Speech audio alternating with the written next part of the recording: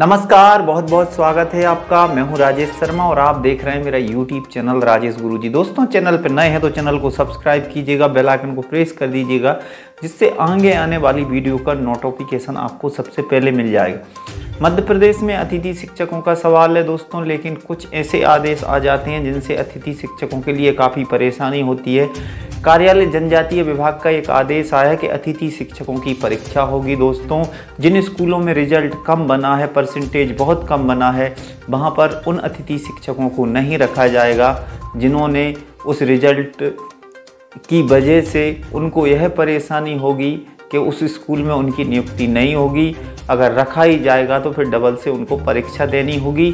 चाहे वो government teacher हो या अतिथि शिक्षक हो, इसकी अकॉर्डिंग आदेश में आपको बता रहा हूँ दोस्तों। एक एक बात आपको साफ़ साफ़ समझाऊँगा और अगर चैनल पर नए हैं तो चैनल को ज़रूर कीजिएगा सब्सक्राइब। बेल आइकन को प्रेस कर दीजिएगा जिससे आगे आने वाली वीडियो का नोटिफिकेशन आपको सबसे पहले मिल जाएगा। तो आदेश आप देख रहे हैं स्क्रीन पे कार्यालय, कलेक्टर, जनजातीय कार्य विभाग, जिला झाबुआ से है बैठक। दोस्तों, बैठक कार्रवाई विवरण। आज दिनांक सात पाँच दो हज़ार बाईस को ज़िले के सभी विभागीय संस्थाओं में वोट परीक्षा परिणाम वर्ष 2022 हाई स्कूल एवं हायर सेकेंडरी की समीक्षा हेतु महत्वपूर्ण बैठक जिला कलेक्टर कार्यालय के सभा कक्ष में शाम साढ़े चार बजे आयोजित की गई है।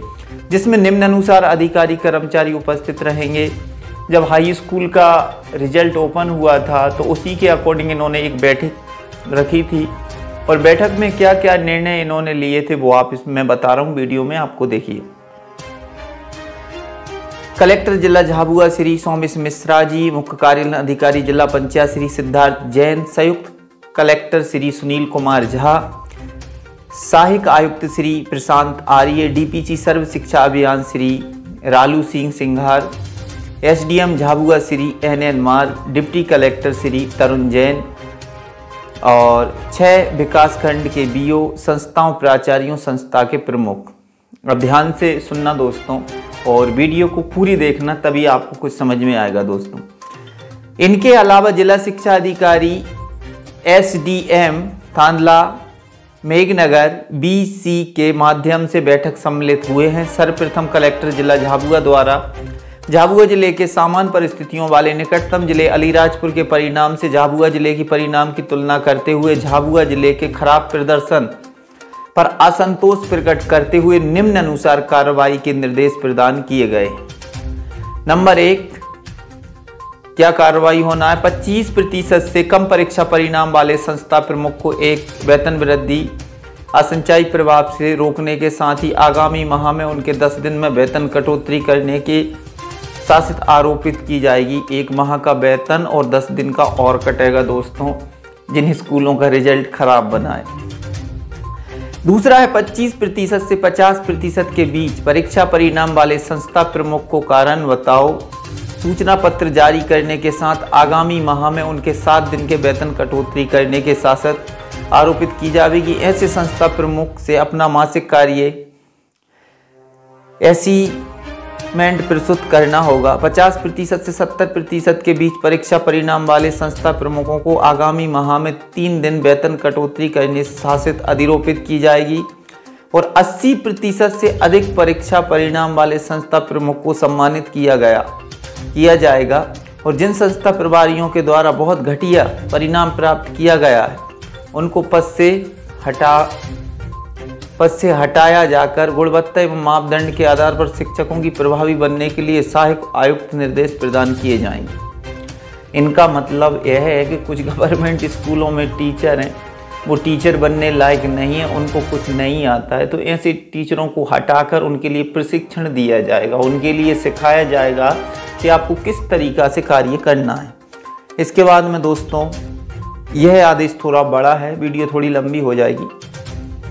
इसमें दिया है 25 प्रतिशत से कम परिणाम वाली संस्थाओं में प्रभारियों के लिए गुणवत्ता परीक्षा आयोजित की जाएगी, जिसमें अनुत्तीर्ण होने पर कार्रवाई भी की जा की जा सकेगी। और 25 प्रतिशत से कम परिणाम वाली संस्थाओं में 25 प्रतिशत से कम परीक्षा वाली संस्थाओं के अतिथि शिक्षकों को आगामी वर्ष में नहीं रखने व 50 प्रतिशत तक की परीक्षा परिणाम वाली संस्थाओं के अतिथि शिक्षकों को परीक्षा परीक्षा के माध्यम से गुणवत्ता चयन उपरांत ही रखने निर्देश प्रदान किए गए दो ऑप्शन है। 25 परसेंट जिन स्कूलों का रिज़ल्ट रहा है, हाई स्कूल हो या हायर सेकेंडियर हो, उनके लिए तो कोई ऑप्शन ही नहीं है।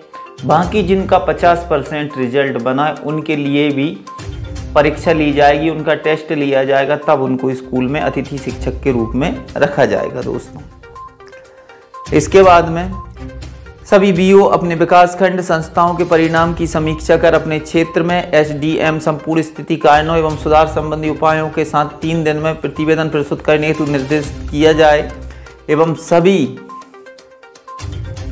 एसडीएम को उनके क्षेत्र संस्थाओं के परिणामों की समीक्षा कर, अच्छे परिणाम वाले संस्था प्रभारियों के शिक्षक संगठन में पदाधिकारियों को सम्मिलित कर, समिति को सम्मिलित कर न्यूनतम आहिरता मापदंड करने अनुशंसा सहित प्रस्तुत करने के निर्देश प्रदान किए गए हैं। बल्कि विद्यार्थियों तो महिला शिक्षकों को प्रस्तुत प्राथमिकता कम से सम्मिलित करने के निर्देश भी प्रदान किए गए हैं। सभी के परीक्षा परिणाम के विकास खंडवार समीक्षा की गई है। जिसके अंतर्गत 80 प्रतिशत से अधिक परीक्षा परिणाम वाले संस्थाओं के प्रभारियों की सराहना की गई है। साथ ही चर्चा व संतोषप्रद उत्तर नहीं देने वाले प्रभारियों को नाराज़गी भी ज़ाहिर की गई है। कलेक्टर द्वारा खराब परीक्षा परिणाम कारणों से उनके उपाय एवं आगामी सत्र की तैयारी पर पीपीटीएम बिंदुओं की समीक्षा की गई है, लेकिन पूरक परीक्षा संबंध में निम्नानुसार निर्देश प्रदान किए गए आगामी जून में आयोजित पूरक परीक्षा हेतु सभी संस्था प्रमुख अपनी संस्था में पूरक प्राप्त छात्र छात्राओं को हम 10 मई के पूर्व अनिवार्य रूप से सम्मिलित सुनिश्चित करेंगे एवं पूरक परीक्षा में अधिक से अधिक विद्यार्थी उत्तीर्ण हों, इसके लिए ज़्यादा से ज़्यादा प्रयास करेंगे। ए आदेश आपने देखा। लेकिन अभी एमपी में फ़िलहाल में लोक शिक्षण संचालय ने अभी ऐसा आदेश नहीं दिया है, लेकिन ज़रूर आ सकता है और पाँचवीं आठवीं भी वोट की है। आप भी ध्यान रखें दोस्तों, आपके स्कूल का रिज़ल्ट कितना बना है। अगर 25 परसेंट या 50 परसेंट से कम है तो आपके लिए भी परेशानी हो सकती है।